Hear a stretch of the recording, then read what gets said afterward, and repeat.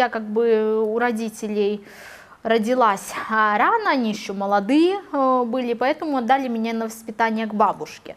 Ну и меня, по сути, воспитывала улица, потому что бабушка выпускала во двор, и я там сама по себе. Если все остальные детки знали, что играя там кто-то кого-то обидит, за них заступится, то есть за меня заступаться было некому, я пару раз там, когда бежали к бабушке, подходила, бабушка просто говорила, разбирайся сама, и я, несмотря на то, что как бы девочка всегда маленькая, хрупкая, я рано рано научилась драться, рано научилась э, стоять за себя, и даже как бы постоянно понимала, что бери, что под руку попадалось, там палка, камень, и всегда могла ответить за себя. Но даже я немножко перегнула палку, я выбрала даже тактику такую же, бей своих, чтобы боялись чужие, и во дворе в детстве я прослыла таким сорванцом, которая даже лидер шайки пацанов была всегда, то есть как маленький разбойник чертенок. Вот.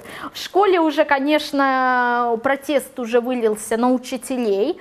А, у нас, помню, была такая ситуация, строгой школьной формы не было, но а, тогда, не знаю с чего, вдруг был протест против джинсов. Стали массово всех ругать, что в джинсах ходят. Ну, джинсы все очень любили, у меня даже такие рваные были джинсы, еще клиши тогда модные, платформы. И я как бы не хотела отказываться от ношения джинсов и одевать какие-то скучные черные брюки или юбки.